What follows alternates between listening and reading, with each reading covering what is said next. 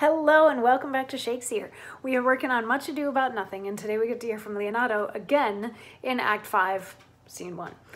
Um, this scene started out with Leonato and his brother Antonio talking and Leonato saying that his grief is has turned into rage because his daughter Hero was not only jilted at the author at the altar but she was she was accused of being unclean, unfaithful, untrue, unvirginal, all these sorts of things, and he thought it was a lie.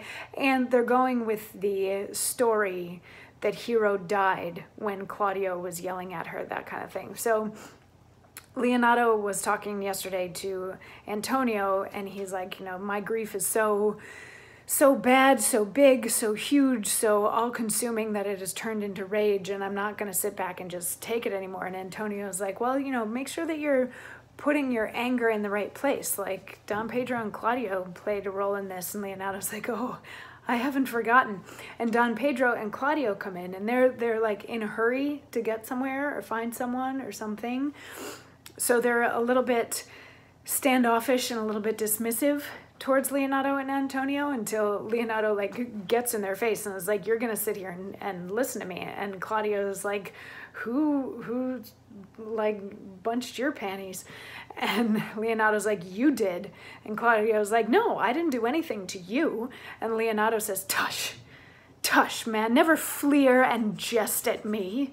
I speak not like a dotard, nor a fool, as under privilege of age to brag what I have done being young, or what would do were I not old. No, Claudio, to thy head thou hast so wronged my innocent child and me that I am forced to lay my reverence by, and with gray hairs and bruise of many days do challenge thee to trial of a man.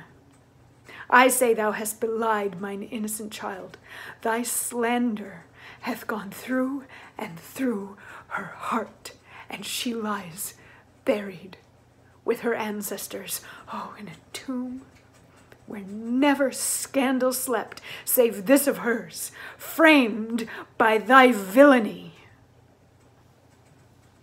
So he's he's throwing down the gauntlet. He is challenging Claudio to a duel here. He's like, you said some really horrible things about my daughter, and because of that, she's now dead. And I challenge you to a duel to make up for that, to to seek my revenge, all of that kind of thing.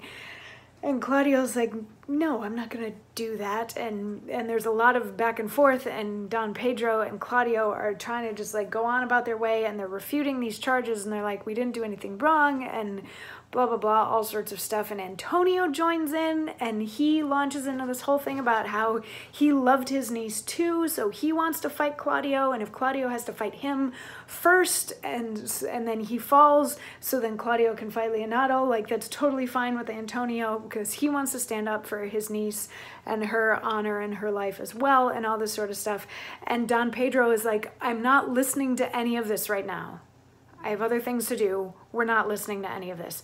And Leonato's like, well, then I'm going to go find people who will listen to me. And he and Antonio leave, which is a good place to stop for today because the next monologue that we get to is in the next little section of these sort of French scenes where some people leave and some people go. But we're all still in Act 5 of Much Ado About Nothing. And I believe after today we have just four monologues left in this play before we're done with it. So it started out all happy and good, and now it's gotten dark and weird and hopefully we can get back to something happy by the end of the play because it is considered a comedy. I don't know. How do you think it all resolves? Leave me a comment, subscribe, push the button, ring the bell, all that kind of fun stuff. Tell your friends. They might enjoy this sort of thing too. I don't know. Anyway, in any case, I will see you tomorrow for more.